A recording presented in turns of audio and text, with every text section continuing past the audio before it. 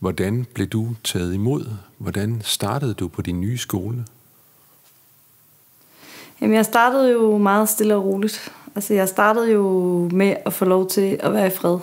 Øhm, jeg startede også med at være, tror jeg, øh, temmelig afvisende over for de andre børn.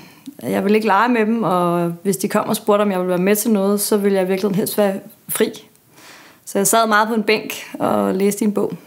Og øh, så var jeg så heldig, at jeg fik en klasselærer, som øh, i en klassens team, hvor en dag, hvor jeg ikke var i skole, jeg har nok været syg eller et eller andet, der, øh, der gjorde hun så den ulejlighed at snakke med de andre børn om, hvorfor jeg må ikke rigtig ville være med i lejen, og hvorfor jeg måske godt kunne virke lidt aggressiv nogle gange. Og der forklarede hun dem, at det var fordi, at jeg ikke havde haft det godt på min gamle skole. Og så lavede hun sådan et meget fint billede, hvor hun sagde, at, at jeg havde været vant til, at øh, når andre børn kom hen til mig med en lavkage, så var det fordi, at de ledte efter en mulighed for at tage lavkagen og tvære den ud i hovedet på mig, så når jeg kunne blive ked af det.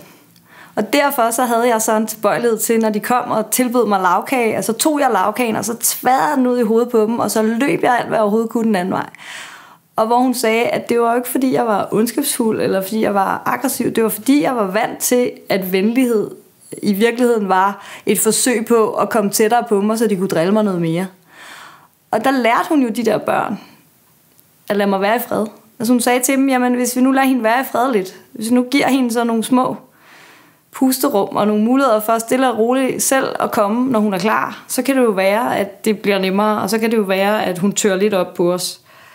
Og det er jeg evigt taknemmelig, taknemmelig for. Ikke? Virkelig taknemmelig for.